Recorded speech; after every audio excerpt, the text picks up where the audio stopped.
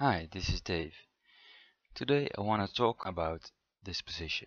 This 4-4 approach move by black and white's one space pincer.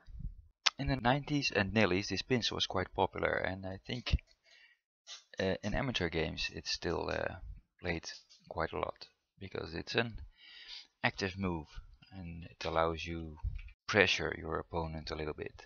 It's, it's more fun maybe than uh, a patient move.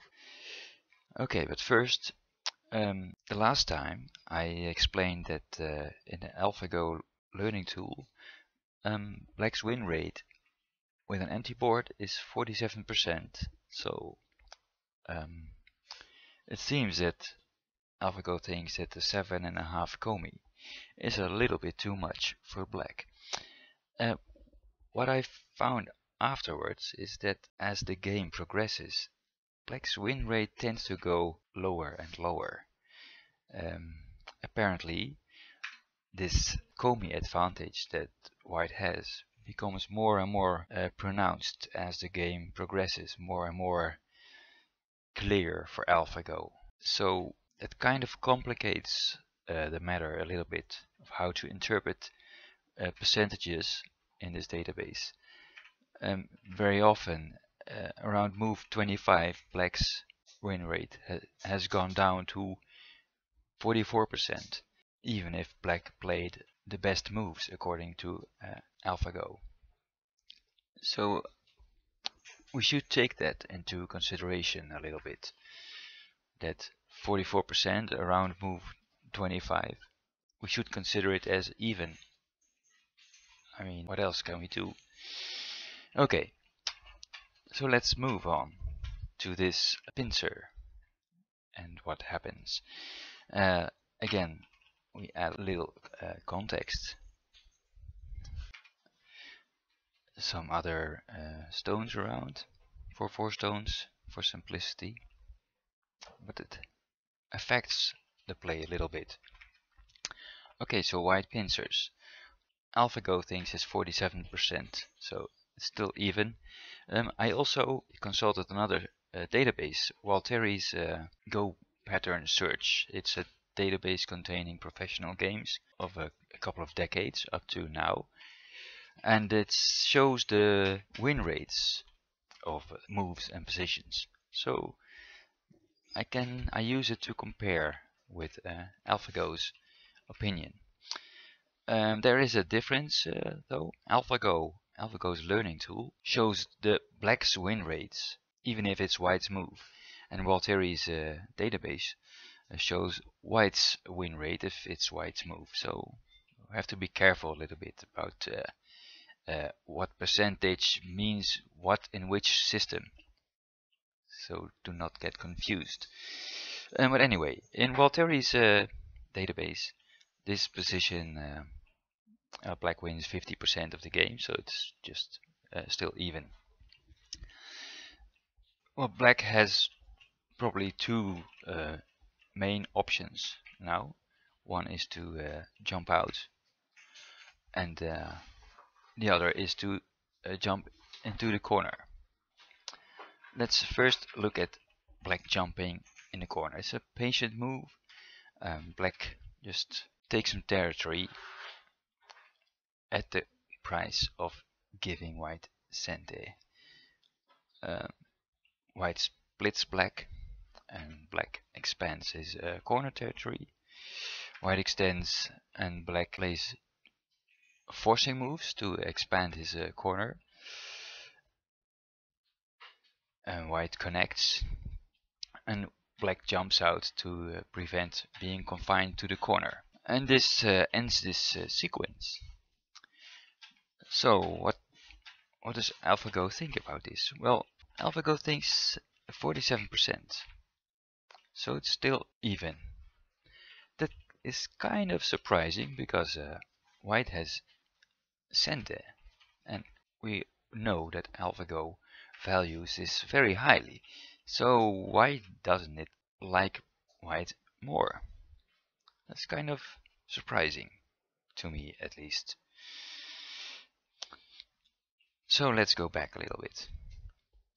Because actually, if you look carefully in the learning tool, AlphaGo thinks this is a mistake. It doesn't play that move. AlphaGo thinks white should play here. And then, of course, black still jumps out. So this small difference, but AlphaGo really likes this for white, as I would have expected for the other variation. Uh, black's win rate is 41%. So, well, definitely favorable for white, I'd say. But why this fairly big difference between this and this connection? By the way, white is connected, black cannot cut. If black cuts, white can uh, capture black. So it doesn't work. Okay, but why is this is this better? Why is this better? I mean, in both cases, black has some forcing moves. For instance, uh, going from here, black has this forcing move, and white usually responds there. And, well, in this case, something similar can happen. Um, if black plays there, white responds here probably. So that's that's not different. So what's the difference? Well, I think uh, AlphaGo in this situation worries about uh, this black move. I'm sure if you played this uh, yourself, you have encountered situations where black uh, was able to make trouble by playing at A at some point. If white plays there, black doesn't have the option of doing that. But still, it doesn't look very urgent, I think. But then looking a little bit more in AlphaGo's learning tool, I find that uh, in many cases, black immediately plays at A as soon as possible. White is sente now, but uh, if white doesn't uh, prevent it, quite soon AlphaGo will play here. White will separate black and threaten to uh, connect white. And Black plays here and white uh, brings black into a lack of liberties. So these two these two stones here um, these two stones are uh, kind of heavy. But AlphaGo just uh, gives them away. It's quite simply for some forcing moves on the outside. Oh, what do you think? I think these forcing moves uh, help black to make better potential on the lower right area of the board. Make it harder for white to do something there. And black doesn't have this forcing these forcing moves in this position. So I think this this is the explanation as to why AlphaGo doesn't like uh, white to play here. It worries that black can get this incentive. So it's interesting. In fact, this move I couldn't even find in uh, Waltheri's uh, database, so professionals don't play it, but uh, I will definitely try it out with white. Yeah. I'm, I'm just gonna do that and find out for myself how it uh, works, if it works better. So AlphaGo thinks this is quite nice for white. So perhaps jumping in the corner is isn't such a good idea for black. I mean this jump. Let's see what happens uh, if black jumps out. Well, black's this move is uh, has been played for a long time uh, by human professionals, amateurs, and the like. So I'm sure you uh, know at least uh, the start of this sequence. Well, usually uh, white defends the cornerstone. It doesn't uh, want black to confine white to the corner and black leans on white's uh, pincer stone to make some influence. And white uh, makes a base on the lower side and now black more or less connects on the outside and now white has a decision point but usually uh, the wedge at B is considered the best move uh, by professionals and AlphaGo. So white wedges, uh, black uh, blocks and connects and white plays here and this captures the corner. So black cannot live in the corner anymore, giving white about 30 point territory. Of course black gets a nice and big potential on the right side. So what do you think? Who do you pre prefer? When I checked it in the Waltheri's Go database, professionals win about 50% of the games with black or white. AlphaGo uh, gives a black 41% win rate. But like I said earlier, this is move 23. At this stage, even the best variations for black have only 44% win rate if white and black play correctly according to AlphaGo. So perhaps we should take that into account. There's also this thing that AlphaGo is not easily impressed with a, a big side potential. So this side potential, AlphaGo is not worried about that at all. It, AlphaGo is just extremely good at reducing and evading, so it's not a problem.